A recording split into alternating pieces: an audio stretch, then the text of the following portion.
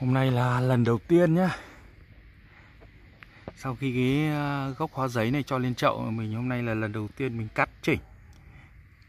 Cắt chỉnh tay cành. Những cái cành mà nó vươn thẳng lên thì mình cắt bỏ. Và mình kéo các cái tay nó bay ngang ra. Và mình, hôm nay mình cũng có chỉnh cái phần ngọn. Cắt bỏ cái phần ngọn kìa. Đấy các bạn xem thấy chưa? Đó. Đấy, để nuôi một cái tay bay ra sau. Thấy không? Các tay nó bay ngang hết rồi.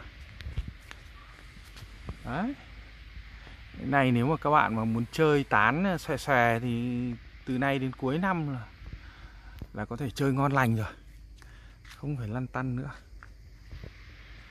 Đấy.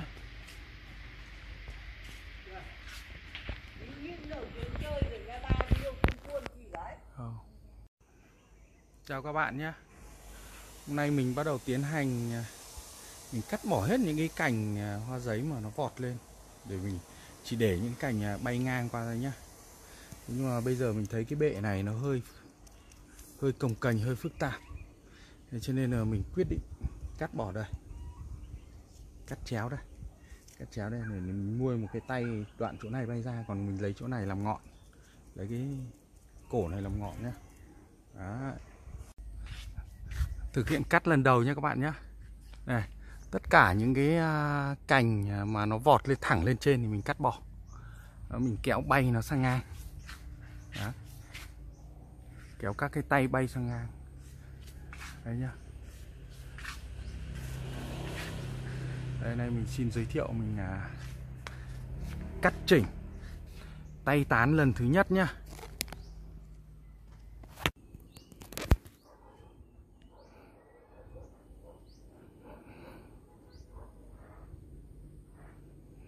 Đấy ờ, cái ờ, cây hoa giấy này sau khi mình cho lên chậu nhá. Cho lên chậu chắc cũng phải được ờ, uh, 3 tháng rồi. Thì hầu như là những cái tay cành này vươn rất dài này Đấy. Và nó rất là già rồi, cứng rồi. Thì mình bắt đầu tiến hành uh,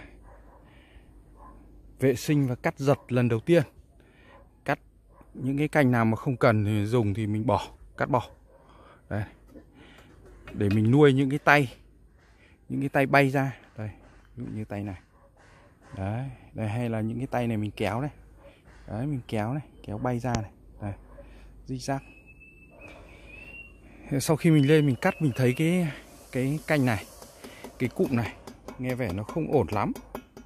Cho nên mình quyết định là cắt bỏ đây. Cắt chéo đây, cắt bỏ cắt bỏ cái bộ này. Thì mình nuôi một cái tay này bay ngang sang đây. Đó, bay ngang sang đằng này. Đấy, và mình nuôi ngọn ở đây nhá Nuôi ngọn ở chỗ này. Đấy, vì cái củ chỗ này nó ấy quá Trông nó không được đẹp cho lắm Về tương lai. Và đây này Chính vì thế cho nên là cái thân nó không tốt Cho nên là cái cành cái lá của nó Nó vàng ố thế này Như là kiểu cây là không phát triển được. Nên mình quyết định cắt bỏ nhá. Đây mình quyết định cắt bỏ. Đó.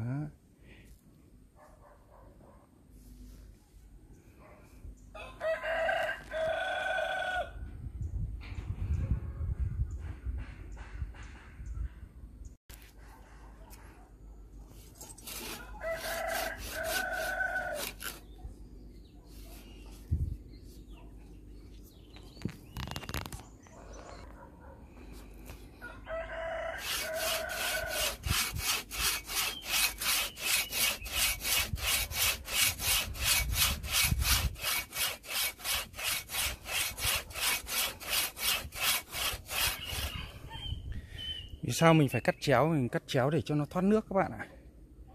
Đấy.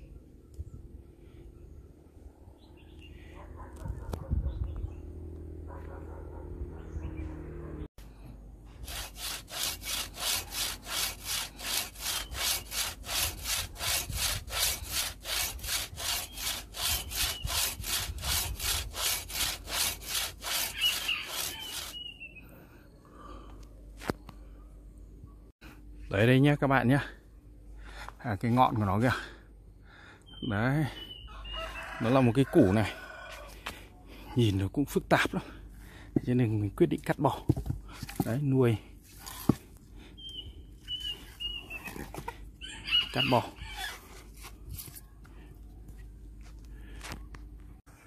Đấy mình xoa này. Xóa này cho cái uh, nước nó ra nhựa cái nhựa cây nó ra nó bít vào nhá nữa mình sẽ bôi keo. Bôi keo ở đây.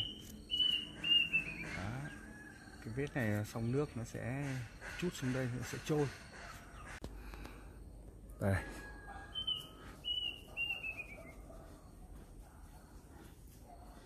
Cây này sau khi lên chậu mình đã cắt bây giờ mình là mình à, cắt chỉnh lần đầu tiên nhá. Cắt chỉnh đầu lần đầu làm tay tán cho cây hoa giấy bonsai khủng. Đấy. có thể sau này còn sửa chữa rất là nhiều nhưng mà cứ dần dần các bạn. Thấy cái gì nó không hợp lý thì mình sẽ tiến hành. Đấy. Đây này tất cả những cái tay này, nó lên là mình nuôi phải đều kéo ngang hết ra. Đây. Kéo bay ngang hết là ra kéo ra này. Khúc kiểu này xong rồi mình nuôi. Nuôi nó to. Hy vọng sau này là có một cái mầm ở đây bay ra đây thì hợp lý, nếu không thì phải nuôi cái này. Nuôi cái này xong nó vít lại đây, bay ra đây. Đấy, để cho nó tròn tán.